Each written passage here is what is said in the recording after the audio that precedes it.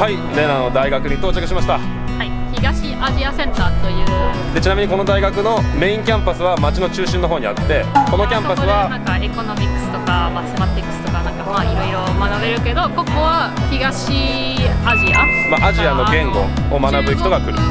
日本語と韓国語が学べる、でライン川のすぐ横にあって、まあ、立地としてはねかなりいい感じの場所ですで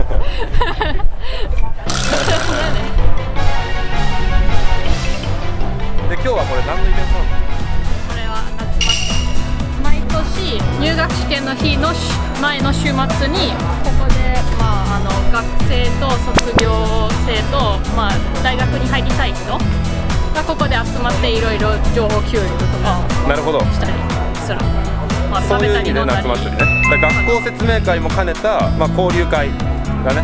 この学生って、まあ交換留学で海外のね日本とか韓国とか中国とかに1年ぐらい交換留学に行くんだけどその経験とかを、まあ、プレゼンテーションで紹介したりとかね。でこの後ねプレゼンテーションがあって、まあ、レナの友達のマックスがプレゼンテーションしたり、まあ、レナもちょっとプレゼンテーションするのかな、まあ、経験があるから。っていう感じでいろいろプログラムが進んでいきます。でとりあえず今はねこの地下のところでてかベースのところでみんながねプレゼンテーション始まる前のワイワイして。ワイワイ。ワイワイタイム。でビールとかも置いてあるから普通にビール飲んでます。というわけで今日一日楽しんでいきましょう。はい、Äh, wir sind ja hier gut geschützt. Und äh, ja, ich freue mich. はいちょっとねキャンパスの中を入ってきました。早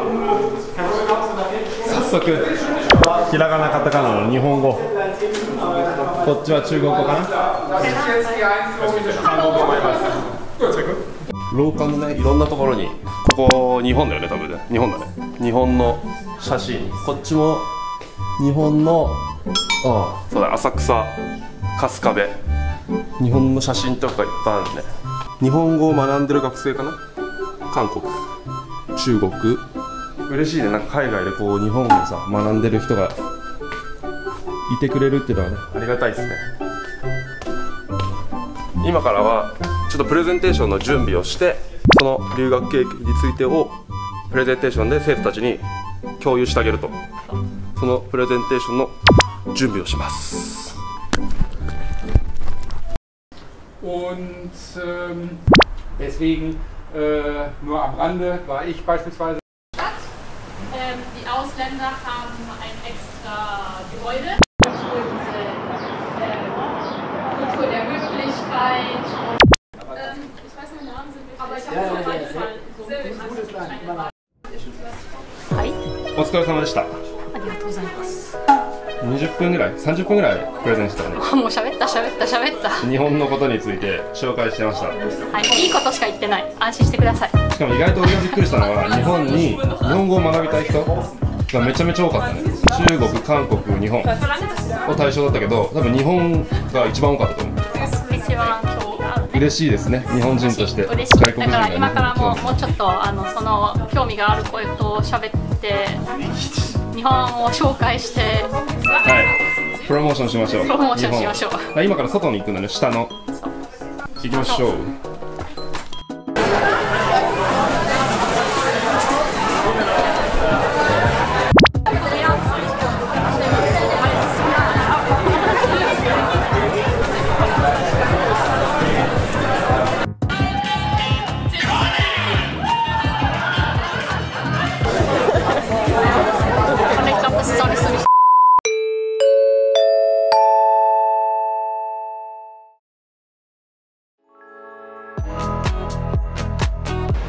で今からねこのミュンヘンの中心中心のショッピングストリートをちょっと歩いてすごいねヨーロッパはやっぱね異次元だねこの綺麗さは。